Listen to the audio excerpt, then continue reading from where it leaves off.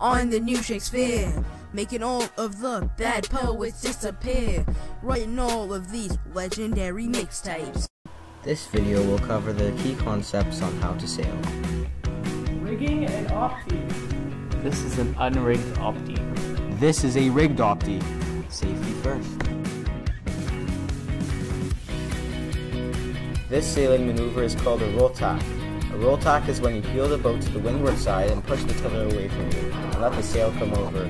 After the sail is on the same side you are sitting on, bunny off to the other side.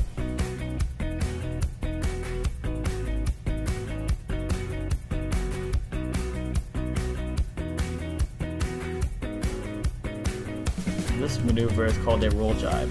A roll jibe is when you heel the boat to windward and pull the tiller towards you. When you do this, pull on the sail to let it come over. After this, jump to the other side of the boat and balance the boat. If you come into conflict with another boat, you will have to do your turns if you are in the wrong. If you hit a mark, you will have to do a 360, which is one tack and one jibe. If you hit another boat and you're in wrong, you will have to do two tacks and two jibes,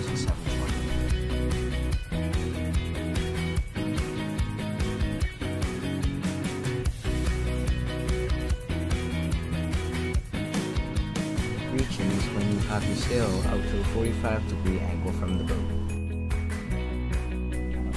Upwind sailing is when you pull in your sail to a close haul position and sail 45 degrees away from the wind. This makes the boat move forward. Downwind sailing is when you are sailing in the same direction as the wind is blowing, and the sail is out at a 90 degree angle to the boat. Capsizing.